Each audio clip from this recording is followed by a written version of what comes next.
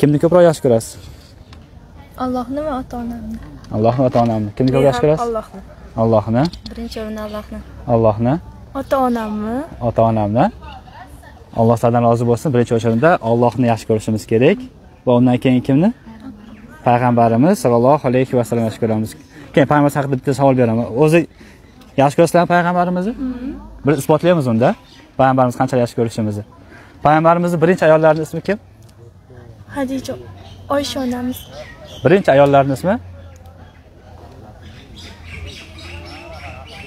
Oysha onamiz. Oysha onamizmi? Kim javob beradi? Payg'ambarimizni yaxshi ko'ramiz dedilar-ku. Inson yaxshi ko'rgan odami haqida qancha ma'lumot bilsa, shuncha oza. Xo'p, payg'ambar keyin inson o'tamiz. Birinchi ayollar ismi Hadicha edi. Payg'ambar sollallohu alayhi vasallam necha yoshda uylanganlar Hadicha onamizga? 40 yoshda. Yo'q, yo'q. 20 yoshda. 40 yoshda. Yo'q. 20 ayollar 40 yoshda. 24. Yo'q. Qani oxirgi javob kim aytadi?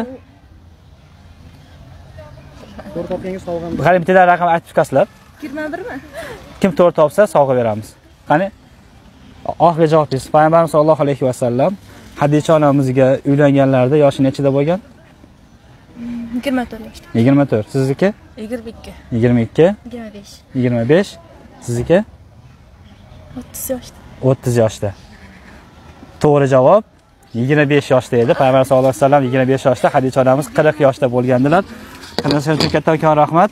Tasbih beramiz bitta. Elektron tasbih. Mana shu qanday uchun sizga sovg'a. Rahmat.